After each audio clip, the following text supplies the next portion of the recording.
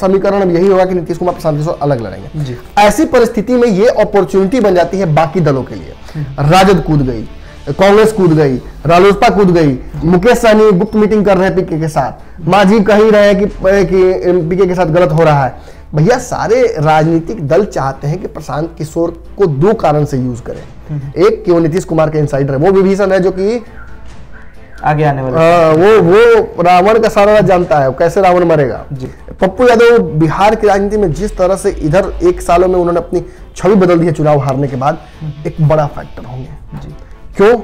दो तीन बड़े कारण हैं। एक बड़ा कारण यह है कि वो राजद को तोड़कर ऐसी पार्टी को तोड़कर जिस पार्टी को तोड़ पाना हिला पाना संभव नहीं है लालू प्रसाद यादव की ओर से। मगर उन्होंने राजद तोड़कर अपनी पार्टी बनाई है। और दूसरा व्यक्ति कन्हैया कुमार जो कि सीधे बड़े घर से लड़ाई लेता है। उसे तेजस्वी नीतीश इनसे फ़र्क नहीं पड़ता है। उसकी लड़ाई सीधे भाजपा से है। उसकी लड़ाई नरेंद्र मोदी से है। तो आप समझ लीजिए और इसी वजह से तेजस्वी यादव डरते हैं। तेजस्वी यादव के डर का भी कारण है कि अगर वो कन्हैया कुमार को अपने समानांतर में रखेंगे तो वो जिस तरह की लड़ाई करेंगे नीतीश से लड़ते रहेंगे और वो नरेंद्र मोदी से लड़कर काफ़ी आगे निकल जाएँगे निकले हुए भी हैं। नमस्कार स्वागत है आपका भारत लाइव में और आप देखना शुरू कर चुके हैं अपना ही पसंदीदा शो रातों रात। आज थंबनेल आपने देख लिया है। हेडलाइन भी आपने पढ़ लिया है। आपको जानकर आश्चर्य होगा कि कल तक आपके माइंड में सिर्फ़ दो ही पार्टियाँ थी। एक तरफ़ नीतीश कुमार तो दूसरी तरफ़ तेजस्वी यादव। लेकिन ऐसा नहीं है। दिन बदलते ही आज समीकरण बदल गए। आज तीसरा विकल्प आपके सामने है। आज पप्पू यादव ने प्रेस कॉन्फ्रेंस कर कर पीके को निमंत्रण दिया है। जैसे कि आपने खबरों के माध्यम से देखा ही था कि दो दिन पहले प्रशांत किशोर दिल्ली से पटना आते हैं। दिल्ली चुनाव खत्म होने के बाद। और उसके बाद कल हमने आपको दिखाया कि किस तरह से पप्पू यादव ने प्रेस कॉन्फ्रेंस कर प्रशांत किशोर को न्योता दिया है। तो अब हम बात कर रहे हैं जिस तरह से आपने थंबनेल में देखा त्रिदेव की। तो आखिर ये त्रिदेव हैं कौन? ये हमारे संपादक नमन मिश्रा जी बताएँगे। देखिए लगभग आपने क्लियर कर ही दिया है कि हम किस बारे में विश्लेषण करने जा रहे हैं आज। सच्चाई यही है कि प्रशांत किशोर हम्म। जिस तरह से बिहार में दोबारा दाखिल हुए हैं मतलब ये उनका पार्ट टू है ये पीके पार्ट टू है। और इसमें एक हम देख रहे हैं व्यापक दायरा दिख रहा है मतलब हालाँकि वो नीतीश कुमार से अलग है मगर वो नीतीश को भी कंप्लीटली राइट ऑफ़ नहीं कर रहे हैं। एक विजन है उनके पास। जिस विजन को उन्हें इम्प्लीमेंट करना है दस सालों के अंतराल के अंदर यहाँ से। 2020, 2024, 2025 इस पर नज़र प्रशांत किशोर की नहीं है। प्रशांत किशोर की नज़र सीधी है कि कैसे बिहार को डेवलप किया जाएगा। और ये एक बड़ी राजनीति होगी। जी। आप जातिगत खपत और जातिगत उपज की बात कर सकते हैं कि बिहार में बहुत ज़्यादा जाति होती है राजनीति होती है। लेकिन सबसे ज़्यादा बात यह है कि अगर बिहार में विकास करके नीतीश कुमार थोड़ा सा अपने आप को 10 सालों तक के लिए सिक्योर कर सकते हैं आने वाले हम्म। तो क्यों नहीं एक ऐसा युवा एक ऐसा विकल्प जो कि बिहार की राजनीति को बदले और बिहार को डेवलप करे? मतलब जो हर जगह फिसड्डी बिहार पिछले पायदान पर रहा है बिहारियत का मायने नीतीश कुमार ने बदला था। बिहारियत का मायने बदला था। बिहारी मतलब गंवार कहा जाने लगा था। बिहारी मतलब बहुत सारे कुतर्क रखे गए थे। मगर उन कुतर्कों को अपने पाँच साल के शुरुआती शासन में नीतीश कुमार ने बदला था। अब प्रॉब्लम क्या है कि एक व्यक्ति अपने सर्टेन आइडियाज़ लेकर आता है और उसके आइडियाज़ खत्म हो जाते हैं। तभी नीतीश कुमार को प्रशांत किशोर को वापस लाना पड़ा। मतलब लाना पड़ा दो हज़ार पंद्रह में। क्योंकि उनके पास अब नहीं था विजन तो उस विजन की कैपेसिटी को उन्होंने बढ़ाते हुए प्रशांत किशोर को साथ में लाया। फिर कांग्रेस के साथ गए लालू यादव साथ में आए। बहुत मतलब क्लियर विजन नहीं उन्हें मिला। अब राजनीतिक महत्वाकांक्षाएँ और राजनीतिक प्रतिरोध विरोध के चलते वो अगर प्रशांत किशोर को अलग कर देते हैं खुद से तो ये उनकी उनका डिसीज़न हो सकता है। मगर प्रशांत किशोर बिहार की राजनीति में जिस तरह से स्थापित हो गए हैं एक नेता के तौर पर जेडीयू में जाने के बाद तो वो स्थापत्य कोई हटा नहीं सकता है। वो रहे जिस तरह प्रशांत किशोर यहाँ पर आए थे एक तरह से वो नीतीश सरकार की बुराई भी कर रहे थे देखा जाए तो। संतुलित संतुलित और एक तरह से वो ये भी बोल रहे थे कि नीतीश कुमार उनके पिता के समान है। पिता के समान है नीतीश कुमार ने अच्छा काम किया है और अच्छा काम करने के लिए उनके पास आइडिया ही नहीं है। मतलब वो अपनी एडवोकेसी कर रहे थे कि आपको अच्छे आइडिया चाहिए तो आपको प्रशांत किशोर को रखना होगा। मगर ये हम समझ चुके हैं कि नीतीश कुमार ने इनको अपने राजनीतिक जायदाद से बेदखल कर दिया है। अब इनको वापस वो लेने नहीं जा रहे हैं। हालाँकि नीतीश कुमार का भरोसा नहीं है। मगर इस चुनाव में तो समीकरण अब यही होगा कि नीतीश कुमार प्रशांत किशोर अलग लड़ेंगे। ऐसी परिस्थिति में ये अपॉर्चुनिटी बन जाती है बाकी दलों के लिए। राजद कूद गई कांग्रेस कूद गई रालोसपा कूद गई मुकेश सहनी गुप्त मीटिंग कर रहे हैं पीके के साथ। मांझी कह ही रहे हैं कि कि पीके के साथ गलत हो रहा है। भैया सारे राजनीतिक दल चाहते हैं कि प्रशांत किशोर को दो कारण से यूज़ करें। एक कि वो नीतीश कुमार के इंसाइडर है। वो विभीषण है जो कि आगे आने वाले। हाँ, वो वो रावण का सारा जानता है। कैसे रावण मरेगा? जी। अब रावण किसी को बुरा ना लगे मैं संदर्भ दे रहा हूँ। तो वो घर का भेदी है। वो जानता है उसने स्ट्रैटेजी बनाई नीतीश कुमार के लिए कि कैसे आपको सत्ता में आना है। और कल जिस तरह से परसों वो दिखा रहे थे रिपोर्ट कार्ड वो कहते हैं नीतीश कुमार अगर ये तीन काम कर दे तो वो सीएम फिर से बन सकते हैं। मैं उनके साथ भी रहूँगा। जो करेगा मैं उसके साथ हूँ। तो एक बड़ा कहीं ना कहीं कहा जा सकता है कि एक बड़ा आयाम खुल जाता है। जब वो ये बातें कहते हैं कि जो इस तरह इन इस नियम को फॉलो करेगा इस रास्ते को फॉलो करेगा इस मेरे दिए हुए रोड मैप को फॉलो करेगा मैं उसके साथ हूँ। जी। इसको अपॉर्चुनिटी मान लेते हैं। उसी के बाद अगले ही दिन जब पप्पू यादव ब्लूप्रिंट तैयार करके लाते हैं और कहते हैं कि मेरे पास पूरा ब्लूप्रिंट है कि किस तरह से मैं बिहार बिल्कुल बिल्कुल। देखिए पप्पू कन्हैया और प्रशांत किशोर में सबसे बड़ा जो कॉमन फैक्टर है वो क्या है? जी। सबसे बड़ा कॉमन फैक्टर क्या है? ये दोनों बिहार के दो बड़े गठबंधनों में नहीं है। हम्म। ना तो एनडीए में ना ना, महागठबंधन में। ना तेजस्वी के साथ ना नीतीश के साथ। जी। दूसरी बड़ी जो खासियत दोनों के तीनों में जो कॉमन फैक्टर है वो क्या है? वो ये है कि ये दोनों ये तीनों सीए और एनआरसी पर बिल्कुल स्पष्ट है हम विरोध कर रहे हैं। जी। अब इतना ज़्यादा कुंडलीय गुण मिलने लग रहा है तो रिश्ता तो पक्का ही माना जाएगा ना? जी। अगर इनको आवश्यकता क्या है? एक योग्य पंडित या जो कहा था कि मेडिएटर आए और इन तीनों को एक जगह लेकर आए। जी। तो प्रयास मैं बता दूँ आपको इंटरनल सोर्सेस हमारे बताते हैं कि तीनों के गुप्त सूत्र एक दूसरे को एक मंच पर लाने के प्रयास में लगे हुए हैं। इन तीनों की बातचीत आपस में चल रही है भाया मीडिया भाया मत मेडिएटर्स और ये बातें इस लेवल तक पहुँच गई हैं। आपको पता है देखिए अगर मैं इसको इस तरह से समझाऊं तो समझ में आ जाएगा। पप्पू यादव लगातार कन्हैया के संपर्क में है। पप्पू यादव कन्हैया के बहुत अच्छे सपोर्टर्स में से एक हैं। जी। कन्हैया कुमार बहुत म्यूचुअली सपोर्ट करते हैं पप्पू यादव को। जी। तेजस्वी यादव कन्हैया को पसंद नहीं करते हैं। फैक्ट देखिएगा। तेजस्वी यादव कन्हैया को पसंद नहीं करते। तेजस्वी यादव पप्पू यादव को पसंद नहीं करते हैं। तेजस्वी यादव पीके से डरते हैं। जी। कि उन्हें पता है कि जो व्यक्ति बना सकता है वो बिगाड़ भी सकता है। हम्म, नीतीश कुमार को अपने आप को बनाने के लिए पीके को इस्तेमाल किए थे तो पीके उनके लिए डाउनफॉल भी ला सकता है। तो तेजस्वी क्यों उस रास्ते जाए जिस रास्ते नीतीश जाकर फंस गए हैं? तो इन दोनों के पास एक म्यूचुअल दुश्मन भी है एक म्यूचुअल दोस्त भी है। अब इन दोनों की दोस्ती को एक जगह रख दीजिए। अब वापस आइए प्रशांत किशोर के पास। और प्रशांत किशोर के जो बयान था उस बयान की व्यापकता को समझने का प्रयास कीजिए। जब वो इंक्लूसिव पॉलिटिक्स कर रहे हैं वो कहते हैं कि मैं सभी का समावेश करना चाहता हूँ एक साथ मिलकर। आप नीतीश सुशील मोदी सबको लाइए। मैं सबके साथ चलने के तैयार हूँ। हालाँकि ये कहने की बातें हैं। भाजपा उनसे बहुत दिन से दूर हो चुकी है और भाजपा के खिलाफ जिस तरह से वो स्ट्रैटेजी बना रहे हैं भाजपा उनसे सटने वाली है नहीं।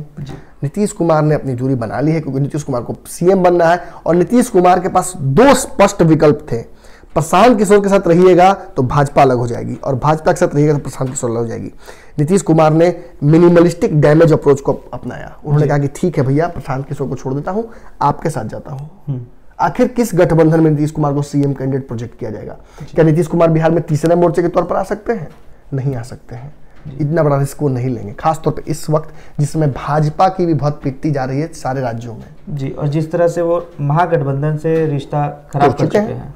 बहुत प्रयास किया। देखिए अगर कहा जाए तो अपने दूत को भेजकर बहुत प्रयास किया। नरेंद्र सिंह से मुलाकात कहीं ना कहीं रघुवंश बाबू की रघुवंश बाबू की मुलाकात नीतीश के करीबियों से नीतीश कुमार की एडवोकेसी रघुवंश बाबू का करना ये भी एक अपने आप में समीकरण था जो नीतीश कुमार ने एक्सप्लोर किया। जी। कांग्रेस का नीतीश कुमार के प्रति सॉफ्ट रहना सारी राजनीतिक पार्टी अपना अपना विकल्प खोज रही है मगर नीतीश कुमार ये जानते हैं कि अगर वो कांग्रेस और तीसरे मोर्चे के साथ जाएँगे तो फ़िलहाल ये उतना मज़बूत नहीं है। जी। तो नीतीश ने मन बना लिया कि भाजपा जिस तरह से कल हमने एक खबर चलाया था जिसमें हमने ये बताया था कि नीतीश कुमार जो है कन्हैया का इतना सपोर्ट इसलिए कर रहे हैं ताकि तेजस्वी के वोट कट सकें। बिल्कुल। और यहाँ पर वो चीज़ भी आ जाएगा। देखिए बिल्कुल ये ये ये ये चाहेंगे। अब देखिए प्रशांत किशोर अ, 2020 के लिए नहीं आए हैं। ये तो स्पष्ट हो गया है। उनके उन्होंने भी ये भी क्लियर कर दिया कि अगर वो 20 के लिए आए होते तो कल पॉलिटिकल पार्टी बन गई होती। उसका अनाउंसमेंट वो कर दिए होते। एक करोड़ कार्यकर्ता बना रहे हैं पर पार्टी नहीं है। एक करोड़ कार्यकर्ता बना रहे हैं पर पार्टी नहीं है। तो आप समझ लीजिए कि वो कार्यकर्ता कहाँ यूज़ होंगे? वो जो राजनीतिक सूझबूझ है वो जो रिपोर्ट कार्ड है वो कहाँ यूटिलाइज होगा? तेजस्वी के साथ वो जा नहीं रहे हैं। एनडीए के साथ वो जा नहीं रहे हैं। तो ये जो दो बिहार के विकल्प हैं बड़ा ही रोचक विकल्प मैं कहूँगा इन्हें राजनीतिक तौर पर। कि तेजस्वी है नीतीश है दोनों एक दूसरे से लड़ रहे हैं। अरे ये लड़ाई यही थोड़ी है। हम्म। लड़ाई तो अच्छी खासी अभी पीछे पड़ी हुई है। पप्पू यादव बिहार की राजनीति में जिस तरह से इधर एक सालों में उन्होंने अपनी छवि बदल दी है चुनाव हारने के बाद हम्म। एक बड़ा फैक्टर होंगे। क्यों? दो तीन बड़े कारण है। एक बड़ा कारण यह है कि वो राजद को तोड़कर ऐसी पार्टी को तोड़कर जिस पार्टी को तोड़ पाना हिला पाना संभव नहीं है लालू प्रसाद यादव की ओर से। मगर उन्होंने राजद तोड़कर अपनी पार्टी बनाई है। जी। और दूसरा व्यक्ति कन्हैया कुमार जो कि सीधे बड़े घर से लड़ाई लेता है। उसे तेजस्वी नीतीश इनसे फ़र्क नहीं पड़ता है। उसकी लड़ाई सीधे भाजपा से है। उसकी लड़ाई नरेंद्र मोदी से है। तो आप समझ लीजिए और इसी वजह से तेजस्वी यादव डरते हैं हम्म। तेजस्वी यादव के डर का भी कारण है कि अगर वो कन्हैया कुमार को अपने समानांतर में रखेंगे तो वो जिस तरह की लड़ाई कर रहे हैं नीतीश से लड़ते रहेंगे और वो नरेंद्र मोदी से लड़कर काफ़ी आगे निकल जाए निकले हुए भी हैं। चुनाव हारना चुनाव लड़ना चुनाव जीतना ये एक अलग राजनीति है। आज हम देखते हैं कि एक चुनावी राजनीति एक इलेक्ट्रोनल पॉलिटिक्स के अलग हटकर एक, एक और राजनीति होती है। आप देख सकते हैं ऐसे नेताओं की कमी नहीं है। सुशील मोदी भी उस नेताओं में से आते हैं। माधव आनंद उन नेताओं में से आते हैं जो कि चुनाव लड़ेंगे नहीं मगर राजनीति कहीं ज़्यादा बड़ी कर रहे हैं। ऐसे ही राजनेता हमारे प्रशांत किशोर भी हैं।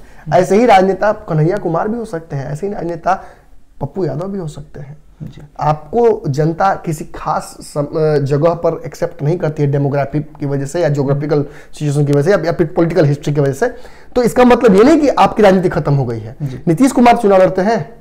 सुशील मोदी चुनाव लड़ते हैं। नरेंद्र मोदी छोड़कर ऐसे कोई नेता नहीं है बहुत जो कि अपनी छवि पर चुनाव लड़ने के चले जनता के बीच में कहते जीत के वापस आऊँगा। आप देख सकते हैं उपेंद्र कुशवाहा की स्थिति क्या होती पिछले चुनाव दो जगहों से हारे थे। आप देख सकते हैं कि इस बार अगर आप तेजस्वी यादव के क्षेत्र में जाते हैं तेज प्रताप के क्षेत्र में जाते हैं तो किस तरह का फीडबैक मिल रहा है? डर लग रहा होगा इन नेताओं को वापस चुनाव लड़ने में। मुख्यमंत्री बनना अपनी जगह है और तो खुद चुनाव लड़ना व्यक्तिगत जगहों पर जाकर वो अलग बात है। बहुत डरावना होता है। आप देख सकते हैं कैसे झारखंड के चुनाव में रघुवर दास अपने सीट हार गए थे। हम्म। कैसे डर नहीं लग रहा होगा नेताओं को? जी। और इसके विकल्प के तौर पर अगर मैं प्रस्तुत कर दूँ ऐसा कि अब एक ऐसी राजनीति हो जाएगी जिसके तहत हम चुनाव नहीं लड़ेंगे मगर अच्छी नेतागिरी करेंगे हम आ, समाज को बदलने का प्रयास कर सकते हैं। तो इन तीनों का एक जगह होना एकदम डेस्टिंड है। डेस्टिंड मतलब कि आप मान चलिए कि ये होना संभव है हम्म। अति संभव है। क्योंकि दो आपस में जुड़ चुके हैं और बयानों की बात अगर हम कर लें तो सीधे तौर पर हम देख सकते हैं परसों कन्हैया ने कहा था माफ़ कीजिएगा परसों प्रशांत किशोर ने कहा था कि वह समावेश करेंगे सबको लेकर साथ चलेंगे पीके के बारे में पूछा गया उनसे कन्हैया के बारे में पूछा गया उनसे पप्पू के बारे में पूछा गया उनसे तेजस्वी का सबको साथ लेकर चलने की बात किया। मगर ज़्यादा इम्फेसाइज उनका था उस विकल्प के तौर पर जो कि नीतीश तेजस्वी से अलग हटकर हो। हम कन्हैया की बात करेंगे कन्हैया ने कभी तेजस्वी यादव का विरोध नहीं किया है। उन्होंने उनके बारे में कभी गलत नहीं बोला है। मगर जिस तरह से उनका चुनाव के दौरान सपोर्ट नहीं किया गया था उन्हें महागठबंधन का कैंडिडेट तक नहीं बनाया गया उनके खिलाफ कैंडिडेट उतारा गया ये साबित करता है कि कन्हैया कुमार को महागठबंधन अपना कभी नहीं मानेगी। जी। और प्रशांत किशोर की बात है तो प्रशांत किशोर तेजस्वी माफ़ कीजिएगा कौन नीतीश से तो अलग हो चुके हैं भाजपा से। उनकी दुश्मनी है ही। सारे राज्यों में भाजपा के खिलाफ वो प्रचार कर रहे हैं। बिहार में उनको भाजपा के खिलाफ चेहरा नहीं बनाया जा रहा है। हम्म। बिहार में तेजस्वी यादव उन्हें एक्सेप्ट नहीं कर रहे हैं। हम्म। इसका एक बहुत बड़ा कारण है। जी। वो जानते हैं कि ये जब भी विकल्प के तौर पे मैं नहीं लेके आऊँगा ये मुझ पर हावी हो जाएँगे। और इसी कारण से ये जो दोस्ती है वो हो रही है। कन्हैया पप्पू और प्रशांत प्रशांत किशोर। और आज पप्पू यादव ने इस दोस्ती के ऊपर से पर्दा हटा दिया है। उन्होंने साफ़ तौर पर बात कह दिया है कि प्रशांत किशोर और कन्हैया एक मंच पर हमारे साथ आए हम वेलकम करते हैं उनको। और ऐसी कोई पॉलिटिकल विकल्प बनाने की बात होगी तो तीसरा मोर्चा तो बन ही रहा है बिहार में। और इसके रातों रात आ जाने से नींद तो उड़ेगी ही नीतीश कुमार और तेजस्वी यादव की। एक को कुर्सी बचानी है और दूसरे को कुर्सी पे आनी है। तो कैसा लगा आपको आज का ये शो अगर पसंद आया हो तो वीडियो को लाइक ज़रूर करें और साथ ही इस वीडियो को जितना हो सके अपने फ्रेंड्स और फैमिली मेंबर्स के साथ शेयर कीजिए। और ये ज़रूर पूछ लीजिए कि ये जो त्रिदेव पार्टी बिहार में आ रही है हम्म। इसको लेकर आपका फीडबैक क्या है? क्या नीतीश और तेजस्वी के विकल्प के तौर पर आप इन्हें एक्सेप्ट कर सकते हैं? जी।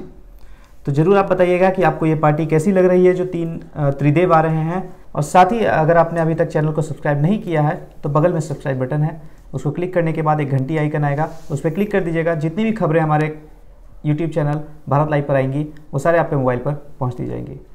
बाकी खबरों के लिए बने रहे हमारे साथ। तब तक के लिए धन्यवाद।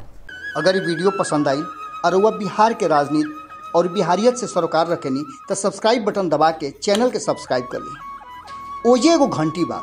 ओकरा बटन दबा देला से कुल सटीक और मारक खबर रुआ मुफ़्त में मिल जाई। अगर रुआ पत्रकारिता के हमनी के नया प्रयोग में सहयोग कर चाहतानी तो ज्वाइन बटन दबा दी। पेटीएम नंबर नोट कर ली nine three eight six eight one six seven double zero धन्यवाद।